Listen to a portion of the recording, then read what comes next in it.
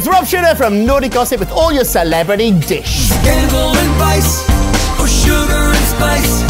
It's naughty but nice with Rob.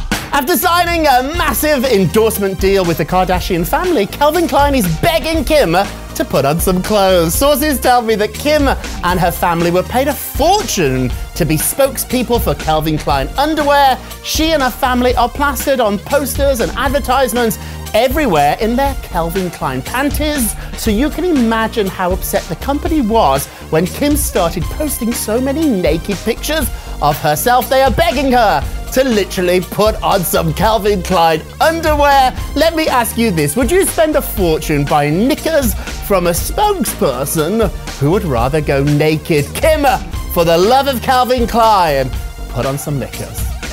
It's naughty but nice with Rob. Thanks for watching. Make sure to subscribe for more videos from your favorite artist. While you're here, check out these other videos.